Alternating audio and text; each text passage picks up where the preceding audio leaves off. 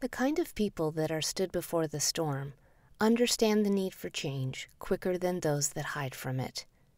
It's not your responsibility to carry the weight of the world on your shoulders. All you are doing is lightening the load on a system that is already flawed and needs to break. If you want change, the kind that makes waves, you can't pick a fight with the sea. You'll never win, its tides are too strong. Real change begins in the rivers, in the streams, amongst the overlooked and the unappreciated.